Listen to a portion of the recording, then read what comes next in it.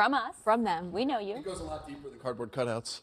Let's talk about the weather. So nice. Coverage again. Over the next couple of hours, we'll see some nice clearing. It's just going to take a little bit longer for those coastal spots to see the sunshine. Tomorrow morning, plan on seeing very similar conditions to what we woke up to today. But Sunday, side we're still seeing low clouds and fog for coastal spots into the LA basin. That'll clear for us over the next several hours. 59 in Ontario right now. It's 61 downtown, 66 in Long Beach, 61 for Lancaster, and 60 a little bit later this afternoon. We'll start to see the winds pick up. When we see yellow on here, these are gusts Make sure anywhere from 20, like, 25 miles an hour. So not quite as strong as what we saw last week, but for some of our desert communities, those winds will get just a little bit stronger before sunset tonight. Here's a look at who's still seeing a little bit of clouds this morning. Again, clears nicely over the next few hours. By about 11 o'clock, most of us see clearing just a tad longer for those beaches afternoon as temperatures start to warm up even more tomorrow.